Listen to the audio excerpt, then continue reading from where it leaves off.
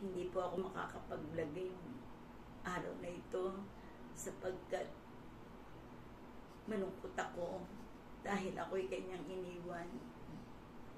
Matagal na po ang aming pagsasama. Taon na. Tatlong taon na bukod sa sinira siya ni Red. Gumastos pa ako. Eto. Hindi. Tsaka yung mga pinapahulaan ko. Eto. Hindi na umubra.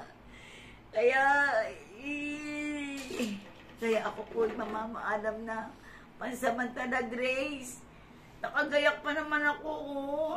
Di ba? Tingnan mo mga puti ko. Oh, ang tanda-tanda ko na. Nais ko pa naman mabuti. Nung makita ni Ayen, wala na. Wala na. Paalam.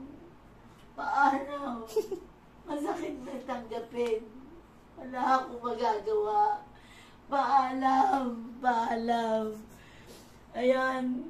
Nakikita niyo ba to? Inayos-ayos ko pa naman ang aking room. Ayan. Parang tindahan. Malungkot ako. Malungkot ako sa isang pamamaalam.